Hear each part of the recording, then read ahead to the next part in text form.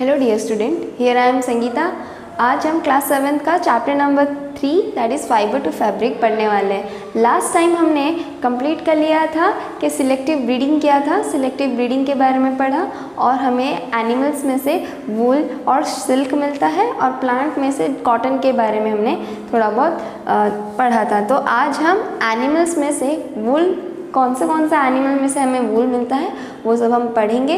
और वूल में से कैसे फैब्रिक बनाया जाता है, उसको कन्वर्ट कैसे किया जाता है, जो आपके चैप्टर का मोटिव है, वही हम इधर पूरा अच्छे से डिटेल में पढ़ेंगे।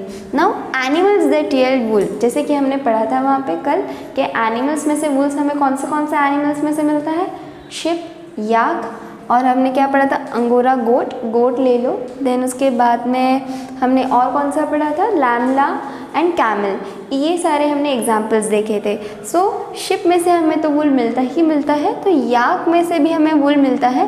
और याक मोस्टली हमें कहाँ ज़्यादा फाउंड होते हैं? दैट इज़ टिबेट और लद्दाख में हमें याक जो है वो ज़्यादा अमाउंट में दिखाई देंगे.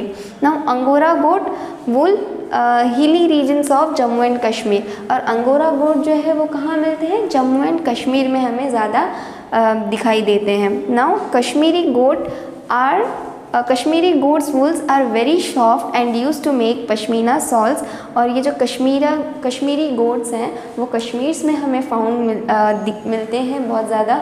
और इनके जो फ़र होते हैं इनके जो वुल होते हैं वो बहुत ज़्यादा सॉफ्ट होते हैं। और उसमें से हमें हम क्या बनाते हैं उस पश्मीना सॉल्स हमें? हम बनाते हैं उसमें से।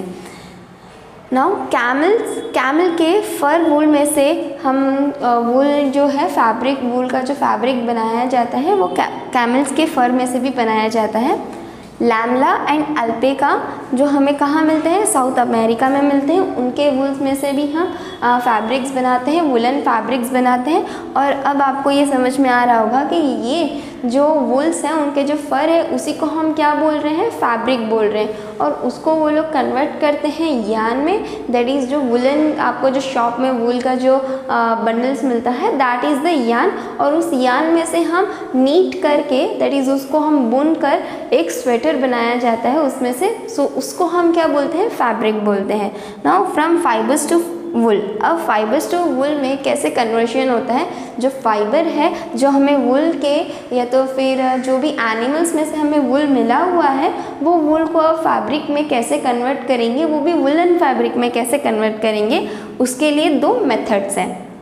दैट इज़ फ़र्स्ट है रियरिंग ऑफ़ शिप और सेकेंड है cutting and processing of hair into the wools so rearing of sheep और फिर उसके बाद क्या होता है रियरिंग ऑफ़ शिप में? कि बहुत सारे लार्ज स्केल में शिप को हम वहाँ पे उनकी केयर करते हैं, उनकी देखभाल करते हैं, उनको खाना पीना अच्छा देते हैं, उनके वूल्स जो है उसको हम कलेक्ट करते हैं। तो वही प्रोसेस को हम क्या बोलते हैं? रियरिंग ऑफ़ शिप और फिर उसके बाद में जब उनके ऊपर जो हेयर है वो अच्छी ग्रोथ हो जाती है उनके बॉडी पे तो उसको कट किया जाता है और वो कट करने के बाद में उसको बहुत अलग अलग प्रोसेस की जाती है जो हम आगे पढ़ेंगे कि उसको वॉश किया जाता है देन उसको डाई किया जाता है, फिर उसको यान बनाया जाता है और यान बनाने के बाद में उसमें से उसको नीट करके वुलन का फैब्रिक बनाया जाता है। तो that is the cutting and processing of hair into the wool so first आज हम पढ़ लेंगे rearing of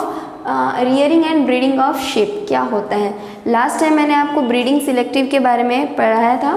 तो सेम ब्रीडिंग शिप मतलब दो टाइप के कोई भी शिप होंगे, जो अच्छा वुल देते होंगे और जो हेल्दी होगा, उनके बीच में ब्रीड करवाया जाता है सेक्सुअल रिप्रोडक्शन करवाया जाता है और उनके ऑफस्प्रिंग में से अच्छा क्वालिटी का अच्छा कैरेक्टरिस्टिक्स का वो वुल जो है कलेक्ट किया जाता है।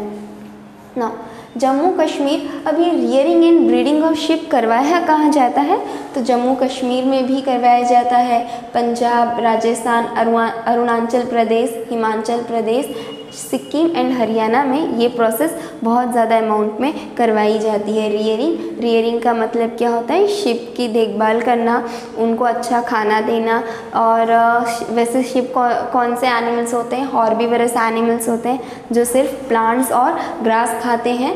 So they prefer to eat grass and leaves mixture of pulses, corn juar and oil cakes are used to be feed to the ship. अब ये सारी जो चीज़ें हैं मिक्सचर ऑफ़ पल्सेस कॉर्न जुआर ये सब उनको खिलाया जाता है। ऑयल केक्स क्या होता है?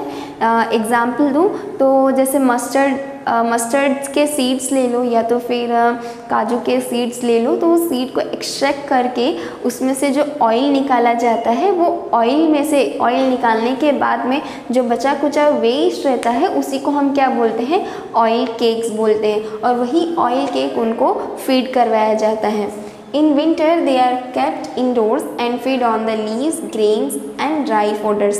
अब विंटर के ठंडी के टाइम पे उनको आ, कमरे में ही रखाया जाता है जहाँ पे उनकी उनका जो हाउस होगा वही वहाँ पे उनको रखा जाता है क्योंकि उनको और उनको क्या फ़ीड करवाते हैं उनको क्या खिलाते हैं leaves grains and dry fodders उनको खिलाया जाता है ताकि वो ठंडी से भी बचे रहे और जो वुल है उसका ज़्यादा वो यूज़ ना कर सके certain breed of the sheeps have thick hair और कुछ कुछ शिप्स जो होते हैं कुछ कुछ टाइप के जो शिप्स होते हैं, उनमें उनके हेयर जो होते हैं वो थोड़े थिक होते हैं।